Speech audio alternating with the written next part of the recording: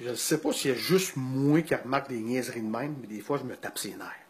Là, je l'écoute un match des Canadiens, puis on est ici, Victor Mété. Regardez bien ça, qu'est-ce qu'il fait.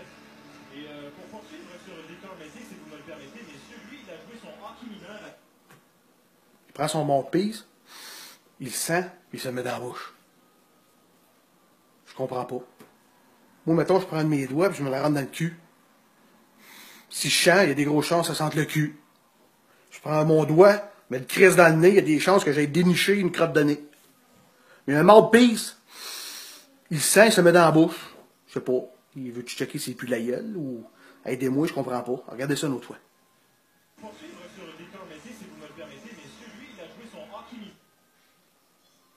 Je comprends pas. Ça sert à rien, c'est niaiseux, mais je comprends pas. Éclairez-moi quelqu'un.